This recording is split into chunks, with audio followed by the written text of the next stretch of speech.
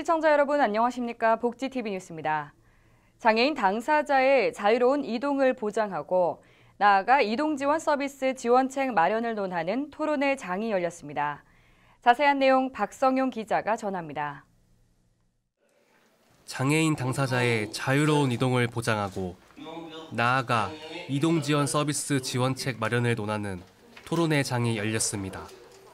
지난 2001년 오이도역에서 발생한 휠체어 리프트 추락사 사고를 계기로 장애인 이동권이 우리 사회 수면 위로 올라왔습니다.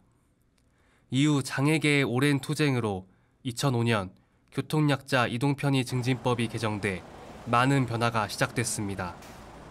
반면 아직까지 장애인 이동권은 온전히 보장받지 못하는 실정입니다. 장애인 당사자의 필요에 맞는 조사 체계가 마련돼 있지 않고 장애인 콜택시 등 장애인 이동수단 부족 문제 등이 산적해 있기 때문입니다.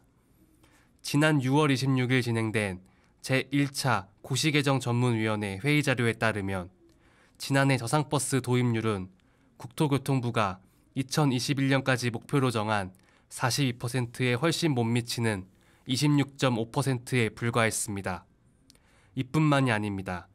특별교통수단 의무 도입 대수가 200명당 한 대에서 150명당 한 대로 상향됐으나 지난해 기준 전국 17개 지자체 도입률은 82.6%에 불과한 상황입니다.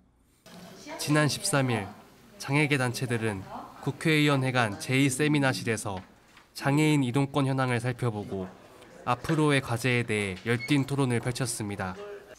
이날 토론자들은 수요에 맞는 장애인 이동 지원 공급 확대를 시행할 것을 주장하며 이를 교통약자 이동편의 증진법에 명문화할 것을 촉구하고 나섰습니다.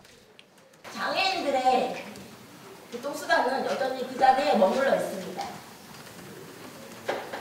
저는 이것은 지금의 교통약자 이동 편의 증진 법은요, 저는 생명력을 잃었다고 생각을 합니다. 그렇기 때문에 저는 이 법에 다시금 생명력을 살리고자 개정안을 요구를 하고 있습니다. 이동권 보장을 위한 장애계의 외침.